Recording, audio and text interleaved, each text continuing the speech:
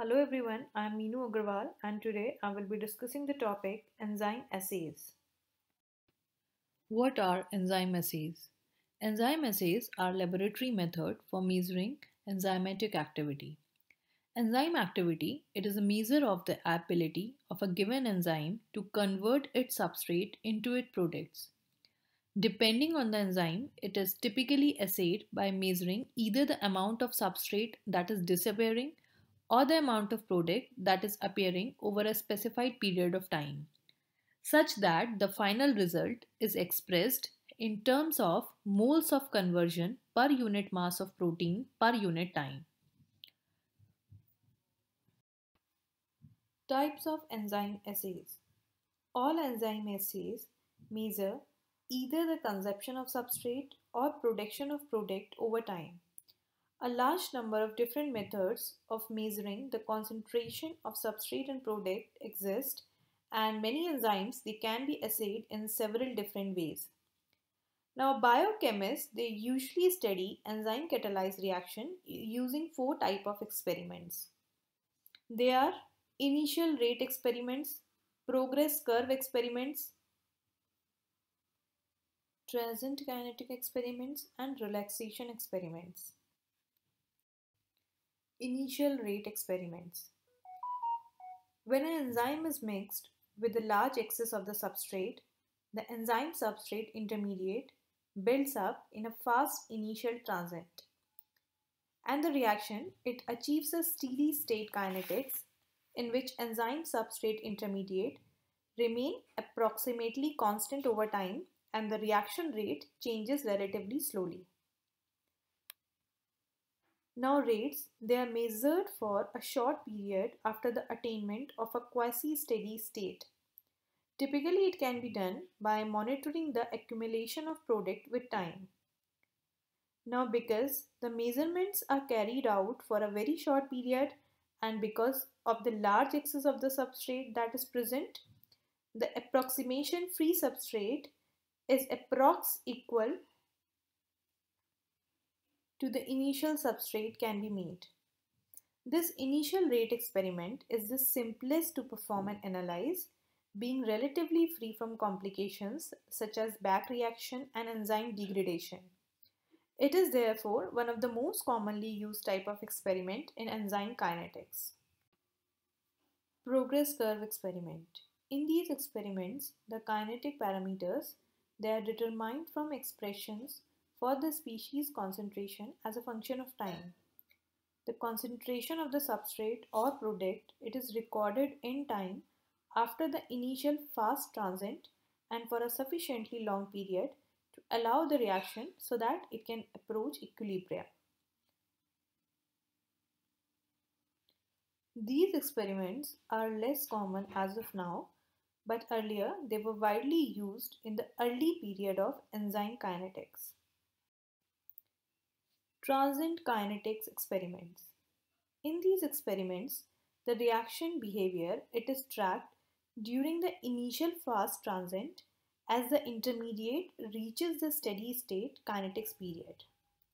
These experiments they are more difficult to perform than the two that I have discussed above because they require rapid mixing and observation techniques. Relaxation experiments.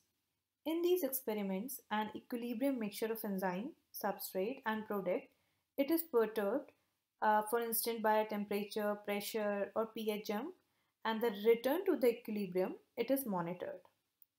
The analysis of this experiment, it requires consideration of the fully reversible reaction.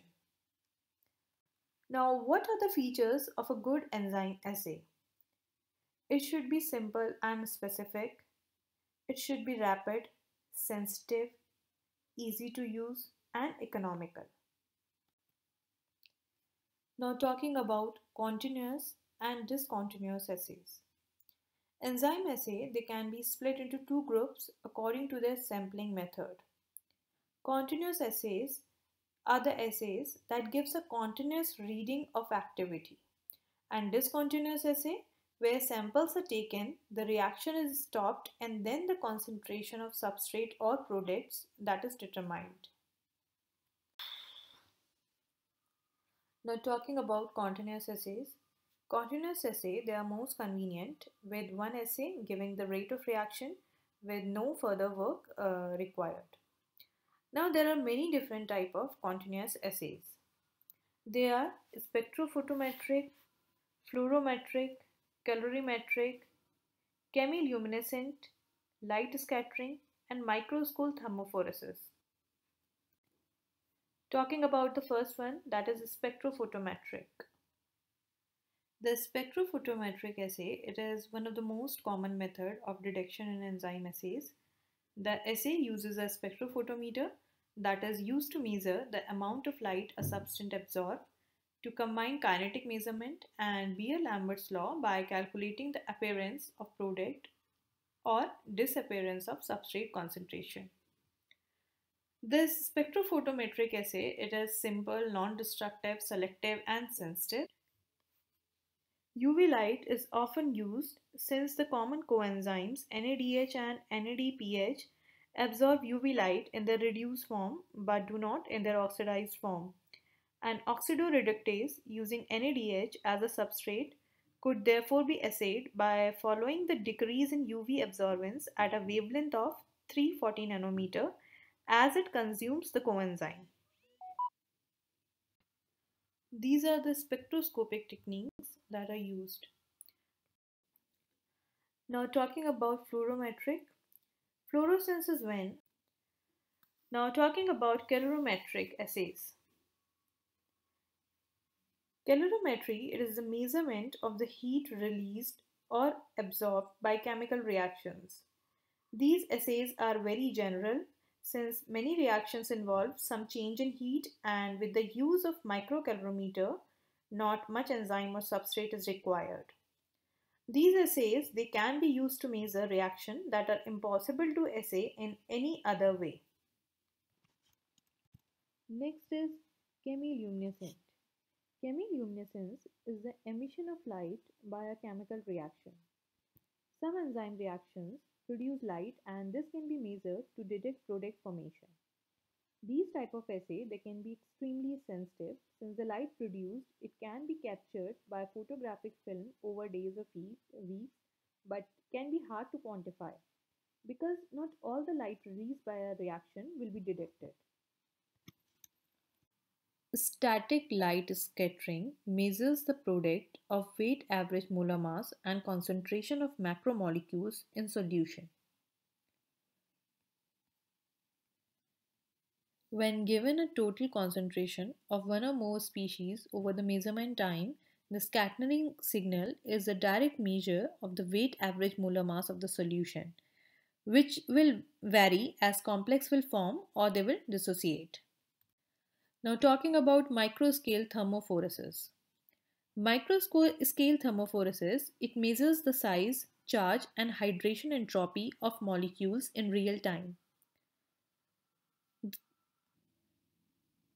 The thermophoretic movement of a fluorescently labeled substrate changes significantly as it is modified by an enzyme. Now this enzymatic activity, it can be measured with high time resolution in real time.